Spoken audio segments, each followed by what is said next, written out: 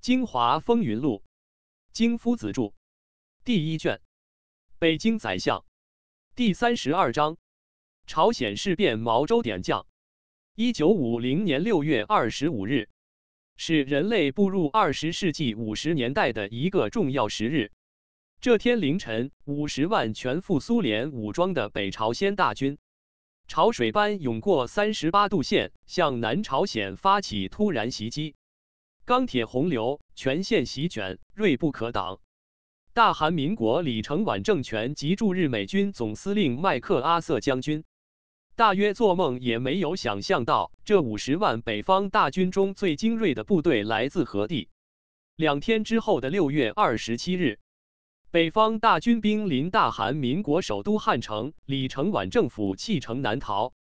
同一天，美国总统杜鲁门作出激烈反应，宣布驻日美军第八集团军所属第一军开赴朝鲜半岛参战，并改变放弃台湾的初衷，而命令美国海军第七舰队封锁台湾海峡及军事协防台湾，以阻止共产党军队南北呼应。一举截断西方世界在远东地区的海上生命线。同一天，联合国安全理事会召开紧急会议，辩论朝鲜局势至深夜。表决之前，各国代表需要向各自的政府首脑请示。在拥有否决权的五个常任理事国之一的苏联代表没有返回会场的情况下，使得美国为首的西方阵营以联合国安全理事会的名义。决定向朝鲜半岛派兵维持局势，称为联合国派移军。当然是以美国军队及大韩民国军队为主，其余英、法、和、比、加、奥、新、土等国家都是象征性的派出一个旅、一个团、一个营乃至一个连的部队参战。说是台湾的中华民国总统蒋介石曾提出派两个军至韩国打击共产党军队。但被美国所婉拒。消息传到北京中南海，毛泽东气得拍了桌子：“老大哥怎么这样不负责任？苏联代表为什么不回到安理会会场使用否决权？这下子好了，美国军队以联合国派遣军的名义出现在朝鲜半岛，是反侵略来了，而把北朝鲜人民军为实现国家统一的内战。”便成为对大韩民国的入侵。毛泽东说：“二十世纪的荒诞逻辑又一次重演丑剧，混淆是非，颠倒黑白，无耻之尤。”朱德说：“我们不怕，是近水楼台，他们隔了半个地球，远水难救远火。”刘少奇说：“美国军火商又要大发战争财了。美帝国主义是无战不兴，无战不富，近百年来一直在发战争横财。”周恩来说：“联合国已经沦为西方帝国主义强国对外用兵的工具，将来一定要联合世界上的大多数弱小国家，来全面改造它，或是重组一个世界性的组织来对抗它。”六月二十八日，中华人民共和国外交部部长周恩来发表严正声明，强烈谴卖美国政府的侵略政策。宣布中国政府绝不坐视美军入侵朝鲜及台湾海峡，将以一切手段全力支持朝鲜人民的反侵略战争，同时号召全国人民进行充分准备，以打败美帝国主义的任何挑衅，实为公开宣布介入朝鲜战事，使得毛泽东、周恩来们感到鼓舞。欣慰的是，北朝鲜人民军在占领汉城之后，七月初将战线迅猛南移。南朝鲜李承晚政权的军队已溃不成军，组织不起有效的抵抗，只顾往南方逃命。虽然未如斯大林同志所要求的那样，三至四个星朗之内解决问题，但到了八月初。北方大军已占领了南朝鲜百分之九十二的土地及控制了面分之九十一的人口，而把李承晚的残部和匆匆赶来救命的美国军队压缩到了洛东江以北的狭小地带，有待歼灭。实际上，朝鲜战事从爆发的那一刻起，即有三个司令部在操作着这场国际战争。一是北朝鲜金日成将军的人民军总司令部有一批苏联顾问；二是日本东京的美国远东军总司令部；三是北京中南海的中共中央军委作战局。七月中旬，毛泽东委托周恩来主持中央军委会议，作出关于保卫东北边防的决定，下令调第四野战军第十三兵团等部。组成东北边防军部队，直属中央军委指挥，下辖第三十八军、三十九军、四十军、四十二军，加上三个独立炮兵师，计二十六万精锐。任命邓华为司令员，洪学智、韩先楚为副司令员，为必要时入朝参战做准备。到了八月下旬，随着朝鲜战局的发展。仍由周恩来主持会议，决定增调第一野战军的第十九兵团、第三野战军的第九兵团入东北，作为东北边防军的后备部队。这样，东北边防军就拥有了三个兵团，下辖十二个军，六十余万人马。在中南海居仁堂，周恩来的军事秘书雷英夫为毛泽东于延安时期推荐给周任副局长的中央军委作战局。日夜研究推演着韩朝战局，雷英夫每日向周恩来报告三至四次前线战况。进入八月份，双方在洛东江地区的战事呈焦灼状态。国际上各种势力纷纷对朝鲜战局做出各种预测。北朝鲜人民军宣布八月份将取得彻底胜利，会将美伪军队全部赶下日本海。并在南朝鲜全境实行土地改革。欧美及亚洲的军事观察家们则预言北朝鲜共军即将遭受失败，并从此一败涂地。美国的新闻舆论却闪烁其词，一会说参战美军将会撤退回日本，一会说联合国派遣军将在朝鲜半岛的适当地点实施大规模登陆。另辟战场，正是这后一点引起了中共中央军委作战局的高度警觉。八月二十三日晚，周恩来在西花厅后院办公室听取军事秘书雷英夫的战况汇报后，敏锐地做出了五点战局分析：一、敌军目前在洛东江以北的狭小地带集中了十几个师固守，与北方大军隔江对峙，是要以此来拖住北方大军的主力。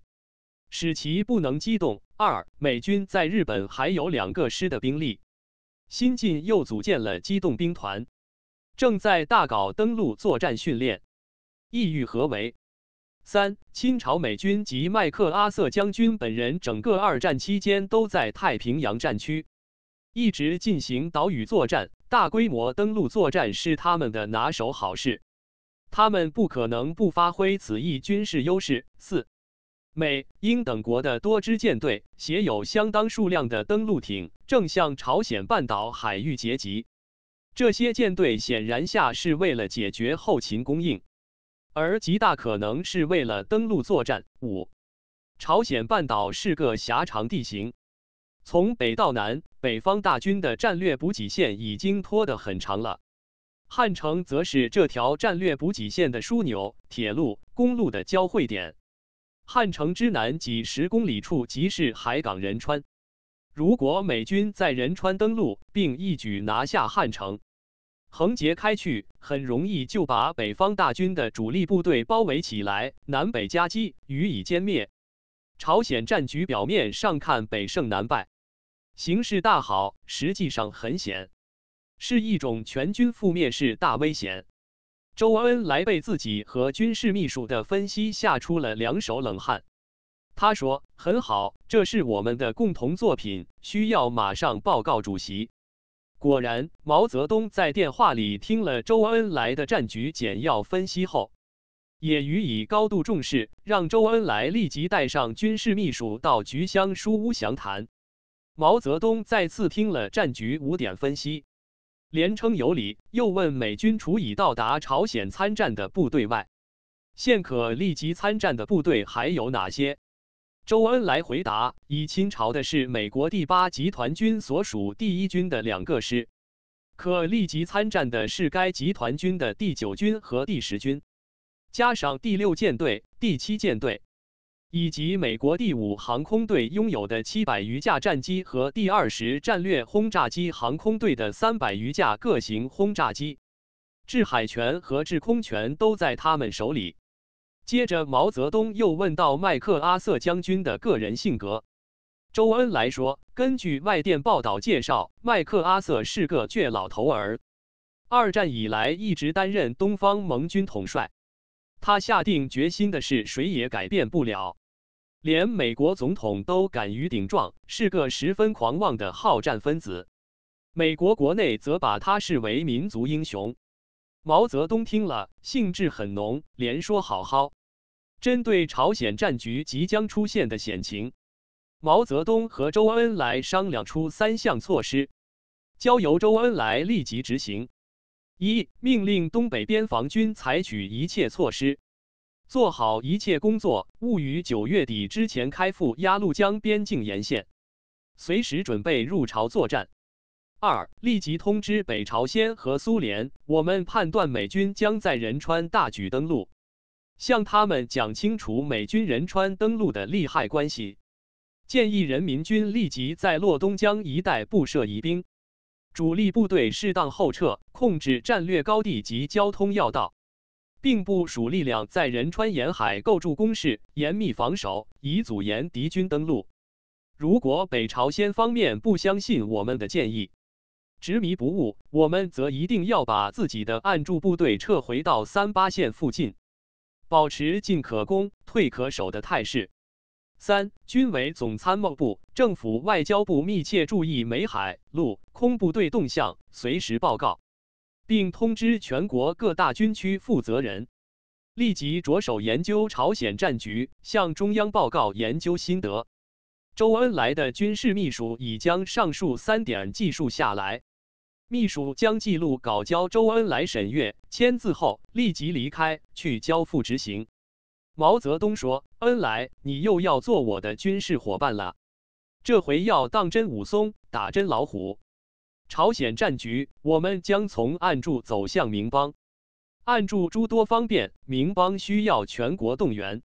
首先做好党内军内工作。”统一思想，统一意志，统一步调，统一号令，统一指挥，还是无统一路？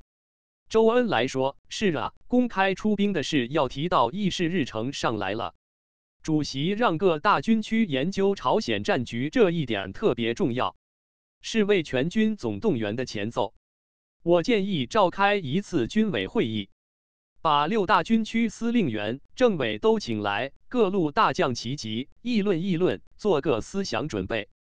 毛泽东想了想，点点头，拿起手边的铅笔，慢条斯理地在纸上写下长串名字，边说：“不一定统统请来，先通知这些人来开会，加上在京的政治局委员。”周恩来接过名单，看着那一长串熟悉的名字：东北局高岗、李富春；华北局聂荣臻、薄一波；华东局陈毅、粟裕；中南局林彪、罗荣桓；西南局刘伯承、邓小平；西北局习仲勋。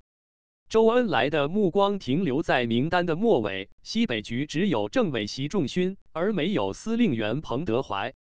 彭德怀还是中国人民解放军的副总司令、中央军委副主席、国防委员会副主席。周恩来犹豫了一下，才问主席：“是不是把彭老总的名字给漏下了？”毛泽东胸有成竹地微笑着：“彭大将军如何漏得下？是颗难剃的头么？去年十月一日开国大典阅兵，也没有通知他来。代表一野的是贺龙。”他和贺龙一直关系不妙，简直不能共事。大阅兵后，只好把贺龙安排到西南军区去任司令员。还是邓小平能容人，懂得团结，尊重同志。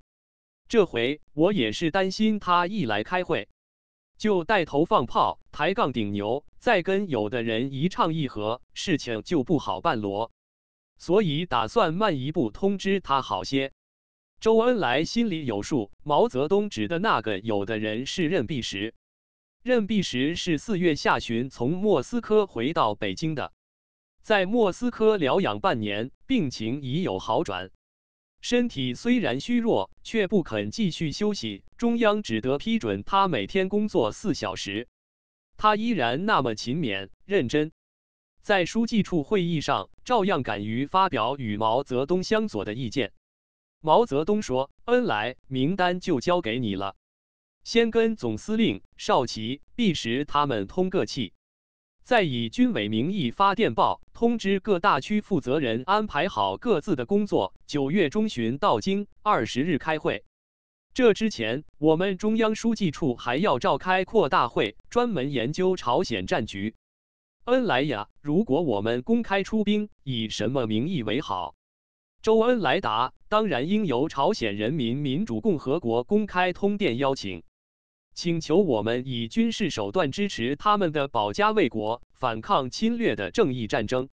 毛泽东摇摇头：不对，我们的大军还是要秘密入朝。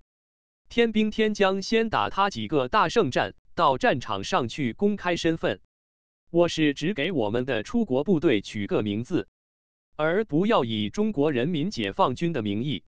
周恩来说：“我明白主席的意思了。”前不久，黄炎培老先生和我私下交谈，说我们如果公开出兵，可以用中国人民志愿军这个名义。毛泽东抬高了声音，手掌在沙发扶手上一拍：“好，这个名字好，就叫中国人民志愿军。你看，由谁来挂帅出征好？”周恩来谦逊地笑着：“我们各路大军将帅的情况，孰优孰劣，主席比我看得更清楚啊！到时候主席登高一呼，应者如云罗。”毛泽东面露不悦：“恩来。”我是想请你先给参谋参谋，不是要你讲客气话。周恩来这才又盯住手上的名单，认真想了想之后，提出四个名字来：林彪、邓小平、彭德怀、粟裕。毛泽东说：“老彭先不予考虑，让他留在大西北党政军一把抓吧。西北为王，顶多做个左宗棠，为什么不提东北王高岗？”周恩来知道毛泽东对自己的湘潭老乡彭德怀大将军成见很深，心里很有些感叹。彭老总是个大忠臣和大功臣，只因喜欢直来直去，不好吹吹拍拍，头上生爵，身上有剌似的，令到主席对他敬鬼神而远之了。便说高岗同志当然是位帅才。我的考虑是，东北地区实为我军和朝鲜人民军的战略腹地。我们的大兵团入朝作战后，负责后勤总供应的非高岗同志莫属了。可以说，后勤供应做好了，我们的参战就打赢一半了。毛泽东点点头，表示同意。再说说林彪、邓小平、粟裕三位。周恩来说：“林、邓、粟都是我军的统帅之才，既有战略，又有战术。林彪统领东北数年，对东北以及朝鲜的民俗民情、山川地理、物产资源相当熟悉，应当是领兵出战的最佳人选。他的弱点是身体弱，多病痛。邓小平可以统御三军，他的长处主席比我更了解。”头脑灵活，技多谋足，善于应付大局面、大变故。关于粟裕同志，我觉得是我军难得的一位常胜将军。二十几年来身经百战，很少打过败战。说实在话，当年的华东战场，粟裕的决策指挥是起了关键作用的。尽管他是名列陈毅、饶漱石之后的副司令员兼副政委。陈饶经常闹矛盾，实际工作往往是粟裕在做，他也从不计较名位，很难得的。如果林邓因各种原因不能挂帅出征，粟裕就是最合适的人选了。粟裕湖南会同人，一九二七年二十岁时加入共产党，同年参加南昌起义和湖南暴动，历任红军连长、营长、团长、师长、军团参谋长。抗日战争起，一直留在华东地区，率领新四军对日作战。解放战争期间，曾为华东野战军代理司令员。他的资历不如陈毅老，文化素养也不如陈毅高，军事指挥才能却在陈毅之上。毛泽东见周恩来如此推崇粟裕，起初并没有十分往心里去。他说：“还有刘伯承、贺龙、陈毅、罗荣桓、徐向前、聂荣臻、叶剑英诸位呢，不都具有独当一面、统御一方的大才？”周恩来说：“主席点到的，当然都是我军最优秀的将帅之才。刘伯承同志是国内外知名的军事家。”出他必出邓，刘邓大军名扬天下。陈毅则宜继续坐镇东南，为解放台湾做准备。罗荣桓体弱多病，一直住在医院里，似乎不宜出征。贺龙、徐向前、聂荣臻、叶剑英四位，主席比我更清楚，运筹帷幄，统御大军，呼风唤雨，就稍逊于前面几位了。毛泽东沉思良久，手指里夹了支烟，忘了点燃。从不吸烟的周恩来擦亮一支火柴，凑上去帮主席点燃了。毛泽东深深吸上两口，温和地看周恩来一眼，表示谢意。恩来，你讲的大致上不错。刘伯承么，长我一岁，老资格罗。一九二九年毕业于苏联伏龙芝军事学院。理论上、实战上都很有一套罗。我准备把他摆到南京去主持我军的最高学府，后称南京军事学院，负责培训全军的高级将领。我军的高级将领多数是大老粗出身，有丰富的实战经验，也各有指挥才能。就是高级将领，初级文化，缺少指挥诸军种协同作战的现代化战争知识。今后打的是海陆空立体战，没有科学文化知识，光懂吹号冲锋拼刺刀怎么行？所以急需补理论课、文化课。邓小平么？我准备调到中央来，大才大用，协助抓全局性工作。陈毅就依你说的，继续坐镇华东，准备解放台湾。罗荣桓保重身体，高岗负责总后勤。看来只好劳动林彪。林彪不成，就是粟裕。安排一下，我先找林彪个别谈话。